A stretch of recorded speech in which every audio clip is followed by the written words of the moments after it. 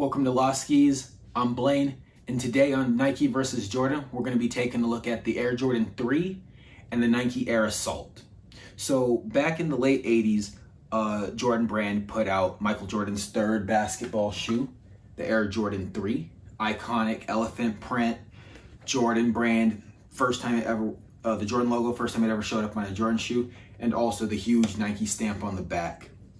Around the same time, they also put out the Nike Air Assault. And it didn't come out in this low top version originally in the 80s. Uh, this was the retro version from 2006, but there were still some striking similarities between the two. So we have the Air Assault here, and you'll notice that it is not elephant print, but it's covered in a safari print, which is, you know, kind of on par with the elephant print. It has the same lacing system as the Air Jordan 3.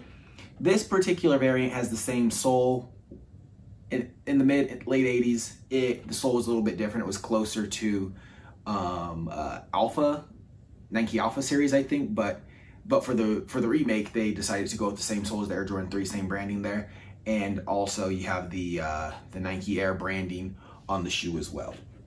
So for those that don't know, and I don't know if this is facts or not, but I feel like a lot of times Nike would create a certain shoe and then Jordan brand would elaborate on that shoe or vice versa. Jordan would put out a shoe and then they would put out a Jordan brand less or just a Nike generic version of that shoe for people that didn't want to rep Mike or maybe that they didn't have enough money to buy the Jordan variant of that particular shoe. So when it comes to the Air Assault and the Air Jordan 3, um, the same guy designed both of the shoes. It was uh, Tinker Hatfield. You've probably heard of him, famous shoe designer, did a lot of the Jordan brand stuff.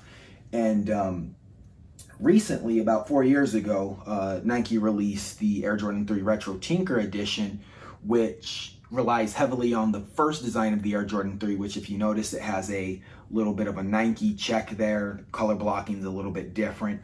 It also has the Nike branding on the inside, Nike brand on the back and the sole, same sole as the 3. And to me, it seems like this one is kind of like a crossbreed between the Assault with the little Nike check there, as well as um, the Nike branding on the inside. You can't see the Nike branding on the inside on the low, but on the high top, we'll get a picture up. You can see that there is that Nike branding. So for me, I feel like these shoes were counterparts and one was for the Jordan fan and the other one was for maybe somebody that wasn't so so strong for Jordan or or the Bulls, but still wanted to be in a cool basketball shoe with a exotic print as it were. But what do you guys think?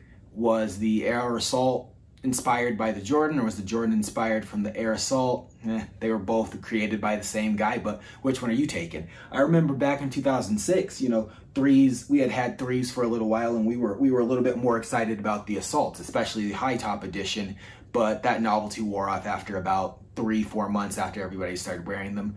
And these days, I couldn't imagine wearing an Air Assault in the low top or the high variant. I'm sticking with the threes. Let me know what you think though. Thanks.